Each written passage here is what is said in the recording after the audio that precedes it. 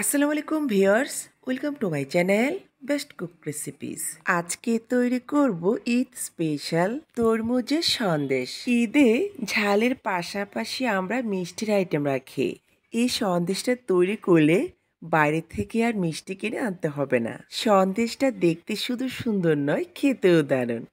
তো চলুন পুরো পর্ব ফিরে যাচ্ছে। সন্দেশের জন্য যা যা উপকরণ লাগছে।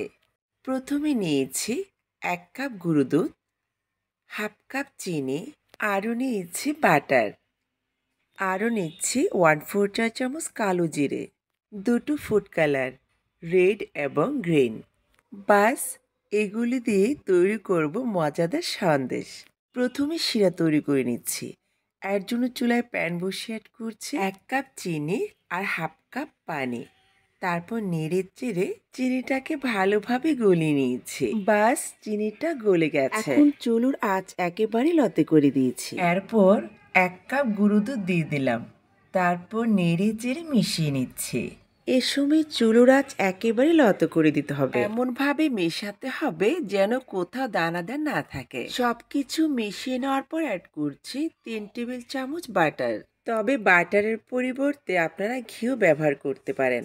এখন নেড়ে চেড়ে সব কিছু ভালোভাবে মিশিয়ে নিচ্ছি। মেশাতে মেশাতে যখন দেখবেন সন্দেশের মিক্সচারটা ঠিক এরকম হয়ে গেছে, তারপর আবারও নাড়তে থাকতে হবে। নাড়তে নাড়তে যখন দেখবেন একটা পর্যায়ে সন্দেশের মিক্সচারটা অনেকটাই ঘন হয়ে গেছে এবং এই মিক্সচারটা প্যানের গা থেকে সহজেই উঠে চলে আসছে। তখনই নামিয়ে নিতে হবে। এখন সন্দেশের মিক্সচারটাকে প্লেটে তুলে নিয়েছি। তারপর ভালোভাবে মথে নিচ্ছি। হাতে একটু ঘি মেখে তারপর ভালোভাবে মথে নিচ্ছি। যদি মনে হয় মিক্সচারটা শক্ত হয়ে গেছে, তখন পানিতে একটু হাতটা ভিজিয়ে তারপর মথে নিলে হবে।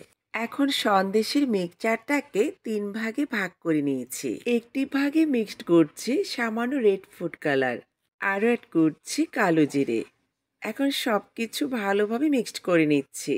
হাতে একটু ঘি মেখে খুব ভালোভাবে মথে নিয়েছি। এখন এই মিক্সচারটাকেও তিন ভাগে ভাগ করে নিয়েছি। তারপর একটি ভাগ হাতের তালুতে নিয়ে তরমুজের শেপ দিয়ে নিচ্ছি। আশা করি আপনারা দেখি বুঝে নিয়েছেন। রেড কালারের তরমুজগুলো তৈরি করে নিচ্ছি বাকি আরেকটি ভাগে আমি গ্রিন ফুড কালার মিক্সড করে নিচ্ছি। এখন আবারও হাতে ঘি মেখে খুব ভালোভাবে মধ্যে নিয়ে সন্দেশের মিক্সচারটাকে তিন ভাগে ভাগ করে নিচ্ছি। তারপর হাতে একটু ঘি মেখে সন্দেশের মিক্সচারটা হাতে নিয়ে আবারও একইভাবে হাতের তালুতে নিয়ে তারপর একটা সন্দেশ তৈরি করে নিচ্ছে। একইভাবে এই সন্দেশগুলো আমি তৈরি করে নিয়েছি। এখন রেড এবং গ্রিন দুটো সন্দেশ আমাদের রেডি হয়ে গেছে। বাকি সন্দেশের মিক্সচারটাকে তিন ভাগে ভাগ করে নিয়েছি। একটি ভাগ হাতে তালুতে নিয়ে তারপর হাত দিয়ে আলতো করে একটা রুটি শেপ দিয়ে নিচ্ছি। হাতে একটু ঘি মেখে নিয়েছি। এবার রুটির মাঝখানে রেড কালারের সন্দেশটা বসিয়ে এবার হাত দিয়ে সিল করে নিচ্ছি। খেয়াল রাখতে হবে কোথাও যেন কোনো ভাবে ফাঁকা না থাকে। এবার হাত দিয়ে আলতো করে চেপে চেপে আবারও তরমুজের শেপ দিয়ে নিতে হবে। বাস হয়ে গেল। এখন চলে আসছে পরের স্টেপে এবার গ্রিন কালারের সন্দেশটাকে হাতে নিয়ে একটু বড় করে রুটি তৈরি করে নিচ্ছি। এরপর সন্দেশটাকে মাঝখানে বসিয়ে আবারও ভালোভাবে ঢেকে দিতে হবে, যেন ভেতরের অংশ কিছুতে দেখা না যায়। এবার হাত দিয়ে আলতো করে তরমুজের শেপ দিয়ে নিচ্ছি। এক এক করে সবগুলো আমি তৈরি করে নিয়েছি। এবার সন্দেশগুলোকে ফ্রিজের নর্মাল চেম্বারে রেখে দেব ত্রিশ মিনিটের জন্য। ত্রিশ মিনিট পর ফিরে আসলাম। সন্দেশটাকে ফ্রিজ থেকে নামিয়ে নিয়েছি। ত্রিশ মিনিটে সন্দেশটা একদমই সেট হয়ে গেছে। এখন কেটে নেওয়ার পালা। একটি ছুরি দিয়ে মাঝখানে কেটে নিলে জাস্ট ওয়াও! এবার সন্দেশটাকে আবারও মাছ থেকে কেটে নিয়েছি। অল্প উপকরণে তৈরি করে দেখালাম ঝটপট তরমুজের সন্দেশ।